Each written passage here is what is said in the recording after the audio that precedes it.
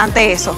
Y bueno, este, este es uno de los últimos diseños también de mi colección. Recuerden seguirnos en nuestras redes sociales, que es divino. ¿Por qué? Te voy a contar. No, y con, Siempre- y con el cuerpo No. de la modelo, pues no. Les- le- Más. no, no, esta niña además de que es espectacular, ¿qué pasa con este estilo de vestidos que son beige, color nude? Siempre se amoldan muy bien a tu figura y la pedrería siempre hace un juego a tu favor. Ah, Porque, te da volumen claro, y te, te, da, te cierra de algún ladito, te pone de algún ladito, por el tipo, en, el- en la forma en la que está puesta la pedrería. Ay, qué buenos consejos, Enrina Mora. Gracias, gracias.